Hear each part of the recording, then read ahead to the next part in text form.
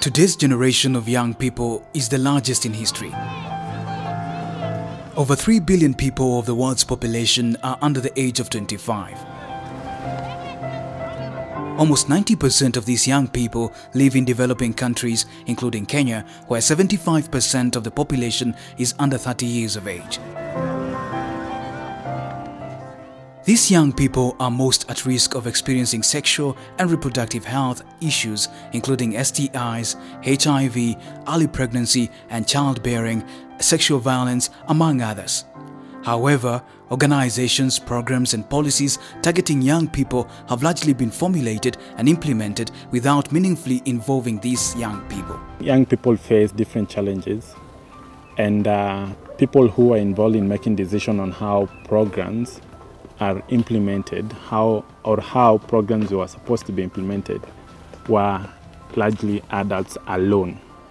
But when they're making those decisions, they're not very responsive to the needs of young people. Initially, uh, you as a young person, when you enter the room, uh, a young person is just there for presence. But whatever you say in that meeting, whatever you contribute to that meeting, will never and would never be taken into account. The Center for the Study of Adolescence CSA has been implementing the Get Up, Speak Out, GUSO program since 2016.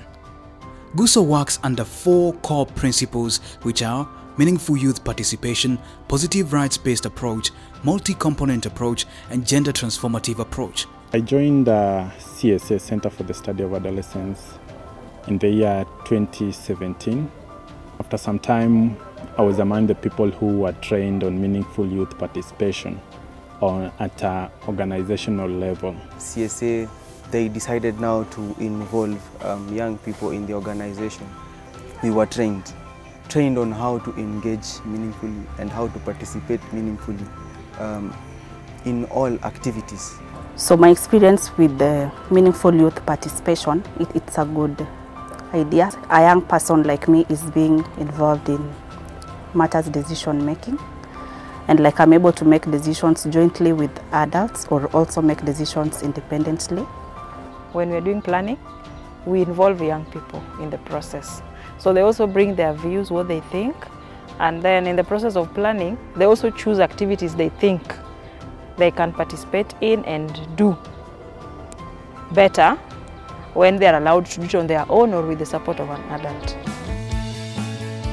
Elements must involve the young people in the following three.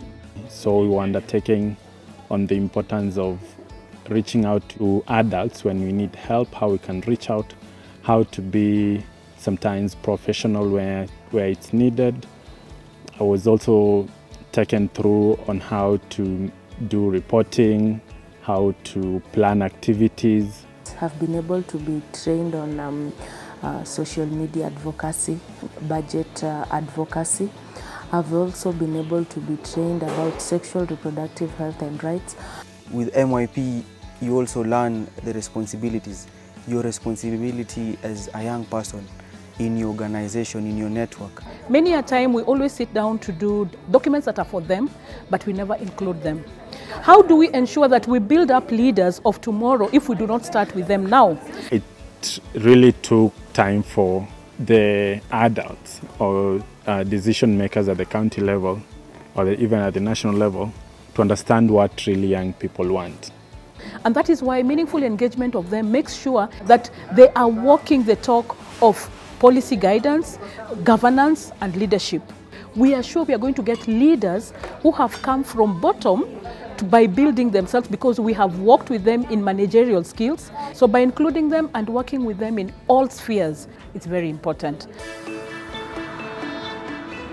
CSA has employed the MYP principle within the organization and in Nairobi, Kisumu and Bungoma within the program for the last five years and as the stakeholders witness, there has been a world of difference in the working environment. MYP has really helped me within the organization because most of the time we really need to work with adults and these have been one of the crucial um, things that really helped us grow and really implement meaningful youth participation into the organization.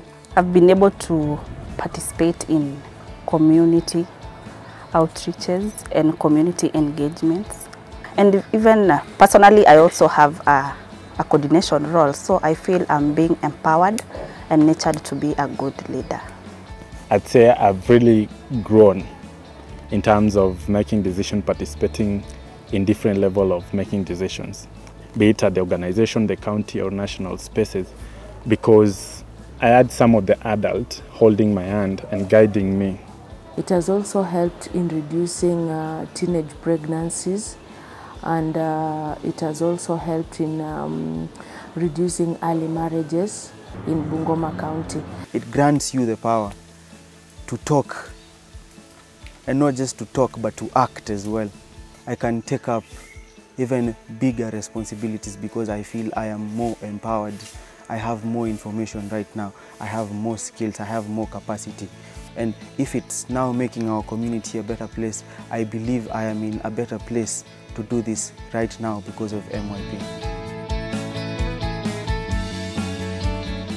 It is our belief that MYP is a strong contributor to the success of GUSO and CSA as an organization and our hope that it can be adopted within other organizations implementing programs targeting young people. Going forward, I would recommend that we continue engaging young people from initiating a project or a, a, an idea of a program for young people, having them in the process of implementation and even final evaluation. I see now youths coming up with their own organizations, not just county-based organizations, national organizations. One thing that I really love to see is that other organizations and other institutes, structures should adapt the MYP and this will actually help with better implementation of anything. We have committed to support them and we will work with them. Whenever support they need, we will be there to provide whatever is needed and the future is bright and we believe in it.